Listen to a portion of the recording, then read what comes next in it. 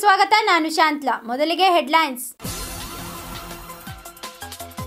ನಾಮಫಲಕಗಳನ್ನು ಕಡ್ಡಾಯವಾಗಿ ಕನ್ನಡದಲ್ಲಿ ಹಾಕುವಂತೆ ಆದೇಶ ಹೊರಡಿಸಬೇಕೆಂದು ಒತ್ತಾಯಿಸಿ ಪ್ರತಿಭಟನೆ.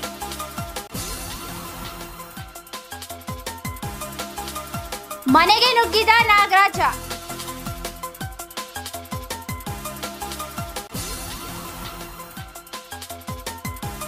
ಮಂಡ್ಯ ಮಿನಿ ಕದನ. ರೈತ ಸಂಘದ ಬೆಂಬಲ ಕೋರಿದ ಮೈತ್ರಿ ನಾಯಕರು. ಪ್ರಧಾನಮಂತ್ರಿ ನರೇಂದ್ರ ಮೋದಿ ಅವರ ಬಗ್ಗೆ ಶಶಿ ತರೂರ್ ಅವಹೇಳನಕಾರಿಯಾಗಿ ಮಾತನಾಡಿದ್ದನ್ನು ಖಂಡಿಸಿ ಪ್ರತಿಭಟನೆ. ಬೇಡಿಕೆ ಈಡೇರದಿದ್ದರೆ ಮತದಾನ ಬಹಿಷ್ಕಾರ. ವಿಶೇಷ ಚೇತನರು ಹಿರಿಯ ನಾಗರಿಕರ ಎಚ್ಚರಿಕೆ.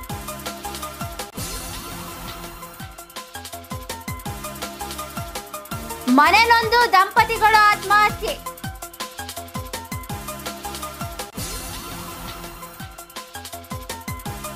ಅದ್ದೂರಿ ಗ್ರಾಮೀಣ ಪಲ್ಲಕ್ಕಿಗಳ ಮಹೋತ್ಸವ.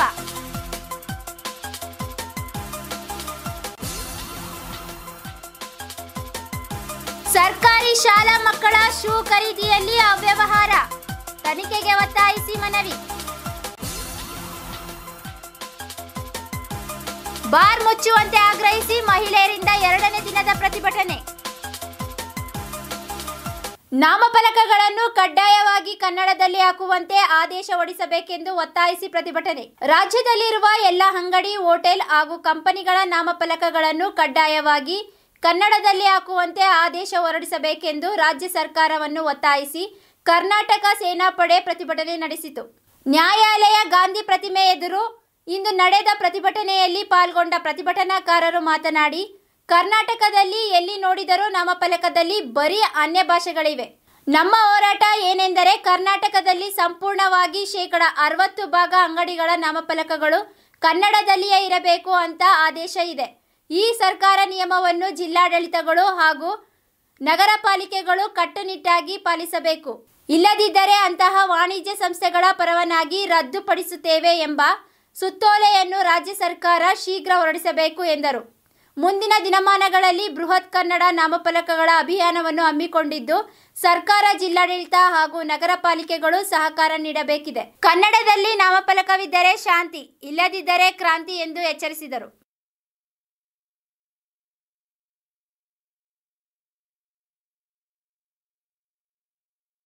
ಮನೆಗೆ ನುಗ್ಗಿದ ನಾಗರಾಜ ಸದ್ದು ಗದ್ದಲವಿಲ್ಲದೆ ಮನೆಯೊಳಗೆ ನುಗ್ಗಿದ ನಾಗರ ಒಂದು ಇಲಿ ನುಂಗಿ ಅದನ್ನು ಅರಗಿಸಿಕೊಳ್ಳದೆ ವಿಲವಿಲ ಎಂದ ಘಟನೆ ಉತ್ತನಹಳ್ಳಿಯಲ್ಲಿ ನಡೆದಿದೆ. ಉತ್ತನಹಳ್ಳಿ ಸಮೀಪದ ಮನೆಯೊಂದಕ್ಕೆ ನುಗ್ಗಿದ ನಾಗರಹವೊಂದು ಮನೆಯೊಳಗೆ ಓಡಾಡುತ್ತಿದ್ದ ಇಲಿಯನ್ನು ಕಂಡು ಗಬಕ್ಕಿಡಿದು ನುಂಗಿದೆ. ಬಳಿಕ ಅದನ್ನು ಜೀರ್ಣಿಸಿಕೊಳ್ಳಲು ಆಗದೆ ಮನೆಯ ತುಂಬ ಬುಸುಗುಡುತ್ತಾ ತೆವಳಾಡುತ್ತಿತ್ತು. ಇದನ್ನು ನೋಡಿ ಗಾಬರಿಗೊಂಡ ಮನೆಯವರು ತಕ್ಷಣ ಸ್ನೇಕ್ ಪ್ರಕಾಶ್ ಅವರಿಗೆ ಕರೆ ಮಾಡಿ ಮಾಹಿತಿ ನೀಡಿದರು. ಸ್ಥಳಕ್ಕಾಗಮಿಸಿದ ಸ್ನೇಕ್ ಪ್ರಕಾಶ್ ಇಲಿಯನ್ನು ಹಾವಿನ ಬಾಯಿಂದ ಹೊರತೆಗೆದು ಅವನ್ನು ಸುರಕ್ಷಿತವಾಗಿ ಕಾಡಿಗೆ ಬಿಟ್ಟಿದ್ದಾರೆ.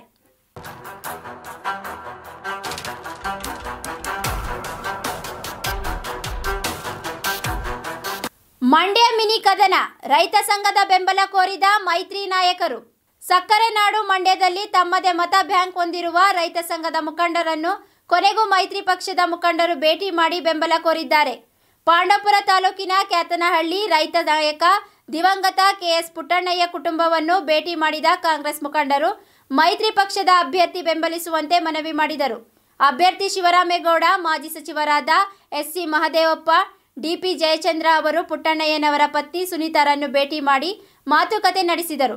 ಕಾಂಗ್ರೆಸ್ ಮುಖಂಡರು ಭೇಟಿ ಮಾಡಿ ಮಾತುಕತೆ ನಡೆಸುತ್ತಿದ್ದಂತೆ ಜೆಡಿಎಸ್ ಅಭ್ಯರ್ಥಿ ವಿರುದ್ಧ ಗರಂ ಆದ ಸುನೀತಾ ಪುಟ್ಟಣ್ಣಯ್ಯ ಸಿಎಂ ಕುಮಾರಸ್ವಾಮಿ ಪಾಂಡವಪುರದ ಸಮಾವೇಶದಲ್ಲಿ ತಮ್ಮ ಪುತ್ರನ ಬಗ್ಗೆ ಹಗುರವಾಗಿ ಮಾತನಾಡಿದ ವಿಚಾರವಾಗಿ ಕಾರವಾಗಿಯೇ ಪ್ರತಿಕ್ರಿಯಿಸಿದರು. ಸಿಎಂ ಬಹಿರಂಗ ಕ್ಷಮೆಗೆ ಆಗ್ರಹಿಸಿದ ರೈತ ಸಂಘದ ಕಾರ್ಯಕರ್ತರು, ಇಂದು ಕಾರ್ಯಕರ್ತರ ಸಭೆಯಲ್ಲಿ ತೀರ್ಮಾನ ಮಾಡಿ ನಂತರ ಹೇಳಲಾಗುವುದು ಎಂದು ಸಮಜಾಯಿಸಿ ನೀಡಿ ನಿಯೋಗವನ್ನು ಹಿಂದಕ್ಕೆ ಕಳಿಸಿದ್ದಾರೆ. ಕೆಲಸ ಮಾಡಿದ್ರಲ್ಲ ಇದ್ವು ಆರಾಮಾಗಿ ಅದು ಮಧ್ಯ ಮಧ್ಯ ನಿಂತ್ಕೊಂಡು ಸೋಲ್ತಾ ಇದ್ದೀವಿ. ಈಗ ಏನಾಗಿದೆ ಒಂದು ವರ್ಷ ಮಾಡಲಿ ಅಂತ ನಿಂತಿದ್ದೀವಿ ದಯವಿಟ್ಟು ನಿಮ್ಮೆಲ್ಲರ ಆಶೀರ್ವಾದ ಇರ್ಲಿ. ಅದಕ್ಕೋಸ್ಕರ ಬಂದಿದ್ದು. ಬ್ರದರ್ ಹಿಂದೆ ಬನ್ನಿ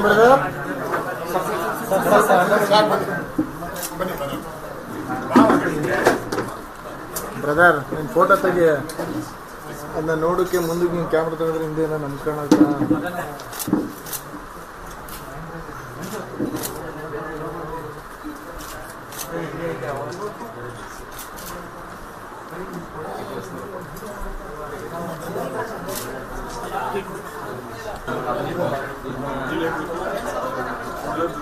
ಅಲ್ಲ ಅದನ್ನ ಹದಿನೈದು ವರ್ಷ ಕಟ್ಟಿಗೆ ಸಿದ್ಧಿಗೆ ಅದನ್ನ ರಾಜಕೀಯದವರು ಇರೋಲ್ಲ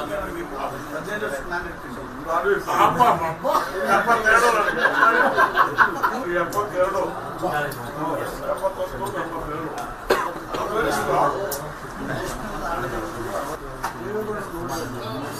ಇನ್ನೊಂದು ಒಂದು ಐದು ವರ್ಷ ಹೆಚ್ಚಿಗೆ ತಗೊಂಡ್ಬನ್ನಿ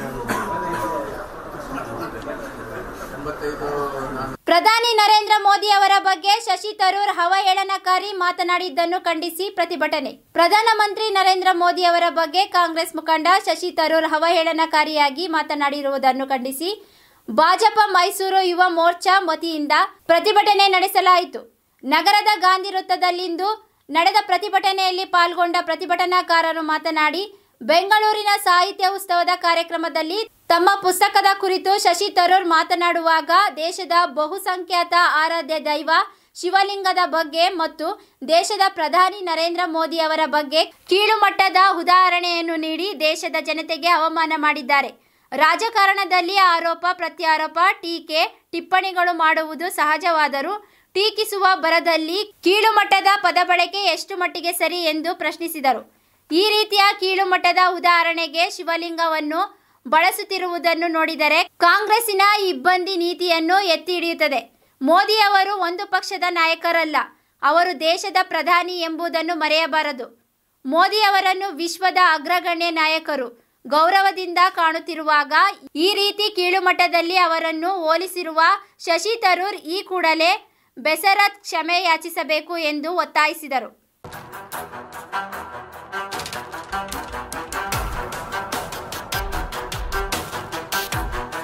ಬೇಡಿಕೆ ಈಡೇರದಿದ್ದರೆ ಮತದಾನ ಬಹಿಷ್ಕಾರ. ವಿಶೇಷ ಚೇತನರು ಹಿರಿಯ ನಾಗರಿಕರ ಎಚ್ಚರಿಕೆ. ವಿವಿಧ ಬೇಡಿಕೆ ಈಡೇರಿಸುವಂತೆ ಒತ್ತಾಯಿಸಿ ಮದ್ದೂರು ಪಟ್ಟಣದಲ್ಲಿ ವಿಶೇಷ ಚೇತನರು ಹಾಗೂ ಹಿರಿಯ ನಾಗರಿಕರು ಪ್ರತಿಭಟನೆ ಮಾಡಿ ಉಪಚುನಾವಣೆಯ ಮತದಾರರನ್ನು ಬಹಿಷ್ಕಾರ ಮಾಡೋ ಎಚ್ಚರಿಕೆ ನೀಡಿದ್ದಾರೆ.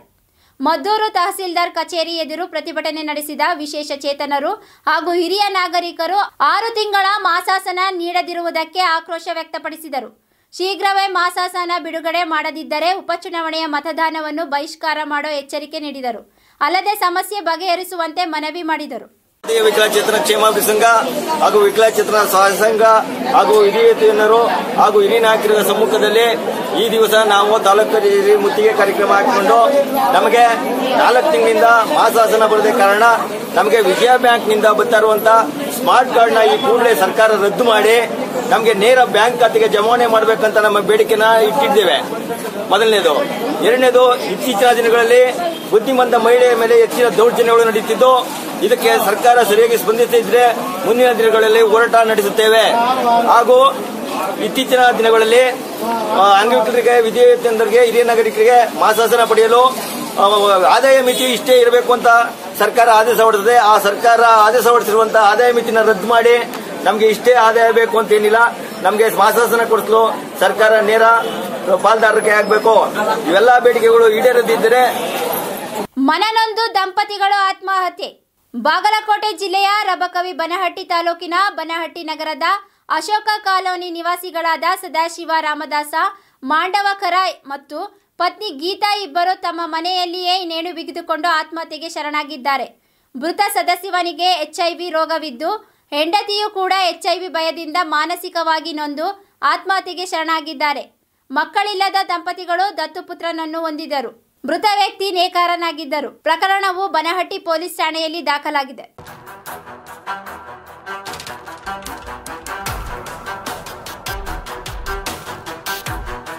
ಅದ್ದೂರಿ ಗ್ರಾಮೀಣ ಪಲ್ಲಕ್ಕಿಗಳ ಮಹೋತ್ಸವ. ಕರ್ನಾಟಕ ಹಾಗೂ ಮಹಾರಾಷ್ಟ್ರ ಗಡಿಭಾಗಕ್ಕೆ ಹೊಂದಿಕೊಂಡಿರುವ ಅನ್ನೂರ ಬೀರಣ್ಣ ದೇವರ ಜಾತ್ರೋತ್ಸವ ಅದ್ದೂರಿಯಾಗಿ ನಡೆಯಿತು. ಈ ದೇವರ ಪಲ್ಲಕ್ಕಿಗಳ ಭೇಟಿ ಮಹೋತ್ಸವದಲ್ಲಿ ಶಿರಡೋಣ ಎತ್ತು ಡೊಳ್ಳು, ನಗಾರಿ, ಹುನ್ನಾರ ಬೀರಪ್ಪ ಹಾಗೂ ಉಳಜಂತಿಯ ಮಾಳಿಂಗರಾಯ ದೇವರ ಪಲ್ಲಕ್ಕಿಗಳು ಭಾಗಿಯಾಗಿದ್ದವು. ಮಹೋತ್ಸವದಲ್ಲಿ ಸುಮಾರು ಒಂದು ಲಕ್ಷಕ್ಕೂ ಅಧಿಕ ಜನ ಭಕ್ತರು ದೇವರ ಭಂಡಾರದಲ್ಲಿ ಮಿಂದೆದ್ದು ಸಂಭ್ರಮಿಸಿದರು. ಬೆಳಗಿನ ಜಾವವೇ ಭಕ್ತಾದಿಗಳು ಸಾವಿರಾರು ಸಂಖ್ಯೆಯಲ್ಲಿ ಬೀರಪ್ಪ ದೇವರಿಗೆ ದಿಢ ನಮಸ್ಕಾರ, ಕಾಯಿ ಕರ್ಪೂರದ ಹೋಳಿಗೆ ನೈವೇದ್ಯವನ್ನು ನೀಡಿ ಹರಕೆಯನ್ನು ತೀರಿಸಿದರು.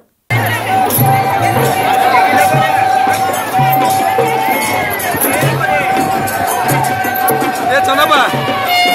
예 전화봐. 에이 이대로 이겨.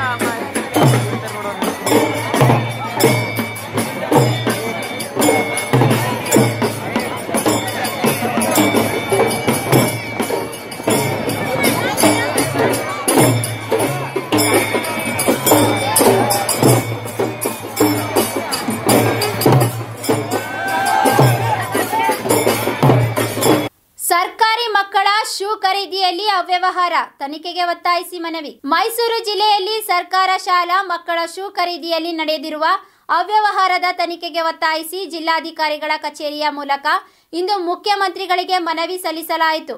ಸಾಮಾಜಿಕ ಹೋರಾಟಗಾರ ವಕೀಲ ಪಡುವರಳ್ಳಿ ಎಂ ರಾಮಕೃಷ್ಣ ಜಿಲ್ಲಾಧಿಕಾರಿಗಳ ಕಚೇರಿ ಮೂಲಕ ಮನವಿ ಸಲ್ಲಿಸಿದ್ದು, ಸರ್ಕಾರಿ ಶಾಲಾ ಮಕ್ಕಳಿಗೆ ವಿತರಿಸುತ್ತಿರುವ ಶೂ ಖರೀದಿಯಲ್ಲಿ ಅವ್ಯವಹಾರ ಹಣ ದುರುಪಯೋಗವಾಗಿರುವುದರ ಕುರಿತು ಮಾಧ್ಯಮಗಳಲ್ಲಿ ವರದಿಯಾಗಿದೆ. ಇದರಿಂದ ಸಾರ್ವಜನಿಕರಲ್ಲಿ ಸಾರ್ವಜನಿಕ ಶಿಕ್ಷಣ ಇಲಾಖೆ ಮತ್ತು ಅಧಿಕಾರಿಗಳ ಕುರಿತು ಅನುಮಾನ ಮೂಡಿದೆ.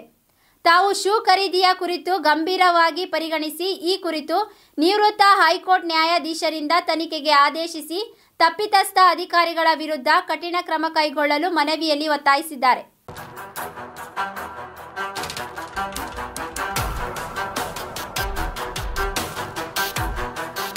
ಬಾರ್ ಮುಚ್ಚುವಂತೆ ಆಗ್ರಹಿಸಿ ಮಹಿಳೆಯರಿಂದ ಎರಡನೇ ದಿನದ ಪ್ರತಿಭಟನೆ. ಗುಂಡ್ಲುಪೇಟೆ ತಾಲೂಕಿನ ಬೊಮ್ಮಲಾಪುರ ಗ್ರಾಮದಲ್ಲಿ ಬಾರ್ ಮುಚ್ಚುವಂತೆ ಆಗ್ರಹಿಸಿ ಎರಡನೇ ದಿನ ಮಹಿಳೆಯರಿಂದ ಪ್ರತಿಭಟನೆ ಮುಂದುವರೆದಿದೆ. ಇತ್ತೀಚಿನ ದಿನಗಳಲ್ಲಿ ಬಾರ್ ಗ್ರಾಮದಲ್ಲೇ ಇರುವುದರಿಂದ ಕುಡುಕರ ಹಾವಳಿ ಹೆಚ್ಚಾಗಿದ್ದು, ಮಹಿಳೆಯರು ಓಡಾಡದ ಪರಿಸ್ಥಿತಿ ನಿರ್ಮಾಣವಾಗಿದೆ. ಅಂಗನವಾಡಿ ಕೇಂದ್ರದ ಹತ್ತಿರದಲ್ಲಿದ್ದು, ಮಕ್ಕಳು ಸಹ ಓಡಾಡಲು ಭಯಪಡುತ್ತಿವೆ. ಅಲ್ಲದೆ ಬಾರ್ ಇದ್ದು ಕುಡುಕರ ಸಂಖ್ಯೆ ಹೆಚ್ಚಾಗಿದೆ ಎಂದು ಬೊಮ್ಮಲಾಪುರ ಗ್ರಾಮದ ಯುವಕರಿಗೆ ಹೆಣ್ಣು ಕೊಡುತ್ತಿಲ್ಲ ಎಂದು ಮಹಿಳೆಯರು ಅಳಲು ತೋಡಿಕೊಂಡರು ಗ್ರಾಮದ ಯುವಕರು ಕೆಲಸ ಬಿಟ್ಟು ಕುಡಿತದ ದಾಸರಾಗಿದ್ದಾರೆ ಅನೇಕ ಕುಟುಂಬಗಳು ಬೀದಿಗೆ ಬರುತ್ತಿವೆ ಆದ್ದರಿಂದ ಕೂಡಲೇ ಬಾರ್ ಲೈಸೆನ್ಸ್ ಸ್ಥಗಿತಗೊಳಿಸಬೇಕೆಂದು ಪ್ರತಿಭಟನೆ ನಡೆಸಿದರು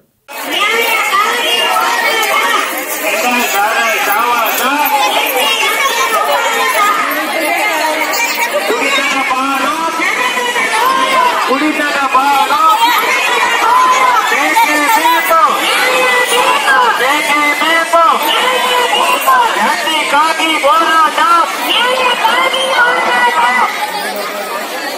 ಬೇಕೇ ಬೇಕು ಬೇಕೇ ಬೇಕು. ಜಾತಿಗಾಗಿ ಹೋರಾಟ.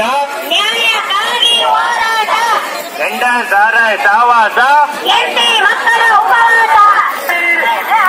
ಕುಡಿತದ ಬಾಳು.